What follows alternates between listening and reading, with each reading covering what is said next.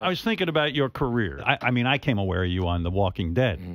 And, you know, you're a guy who trained for a long time as an actor. Did. And then you get this show and things explode. Uh-huh. Did you know when they first auditioned you for that role and you read these scripts, did you think this would be the breakout role of your life?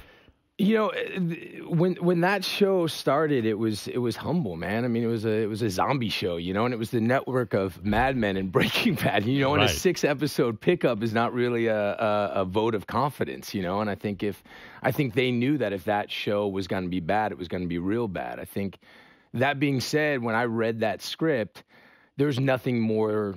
I, it, it blew me away. It was. It was that good. right before Walking Dead, I auditioned for one of these shows that uh, it- it's um, it was like one of these uh, procedural shows that's been going on forever. You you got the part too, right? I got the part. what show was that? Uh, I think it was NCIS LA. Okay, so Yeah, that's a good show. It's a good gig because going on forever, dude. Right. Yeah, You- it's yeah. it's a franchise. Yeah.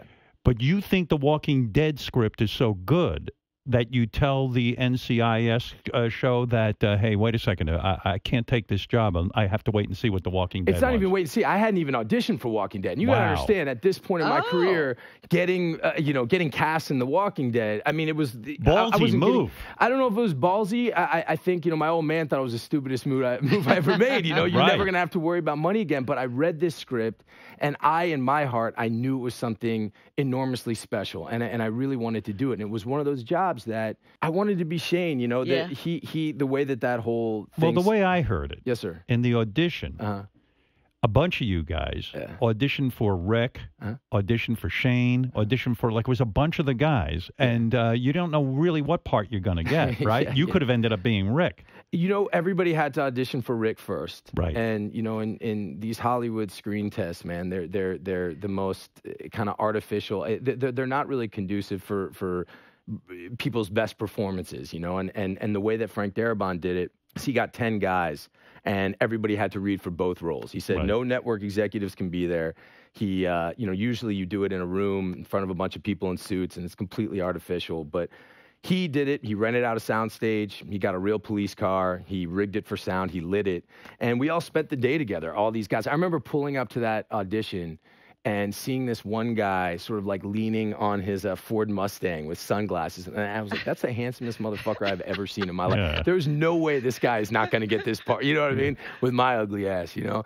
And, uh, you know, it, it, it was one of those days where, you, you know, people started to unravel by the end because everybody really wanted the job. And I remember one guy in particular, he was, uh, he was, uh, we, we did the scene and then Frank Darabont walked over. I mean, it's Frank Darabont. He walks over and, uh, he says, "Yeah, the scene was great, but you need to take your gum out. You know, you you just let's do it again without gum." The guy takes his gum out and hands it to Frank Darabont. Oh. I mean, can you imagine going That's to a, a job balls interview, move. right? I Man. just was, I think you, I just really got to see how unnerved and how rattled people get. You know, when you really want something. And like you said, you wanted to be Shane.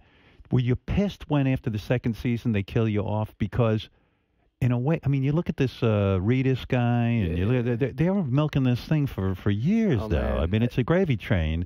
You must have been like, fuck this. No, look, I, I knew it was going to happen from the beginning. Oh, you and, did? And and and, and I, I, I'll tell you, I, look, it scared the shit out of me. I, I thought that this is just my luck. This is totally part and parcel for every other thing in my life that I finally Right. get on a show and it's crazy successful, and then they kill my ass as soon as it starts popping off. But uh, you know, looking back and in, in hindsight, They might have um, done you a favor because you've done a lot of good stuff. And, and and I'm so grateful for. it. But more than anything else, and you bring up Normie, Right. Uh, you know, like these guys are like some of my best friends on earth. And Norman they Ra- still? Norm- still, Norman Reedus is He's- literally an angel on earth, man. He is one of the most beautiful people inside and out that I've ever met. And uh, I, I I love that job. I love that job. I love playing that part. And to have a real beginning, middle, and end as a character, it's uh, it's an unbelievable gift, man. And and uh, it opened up so many doors. So I was I was grateful.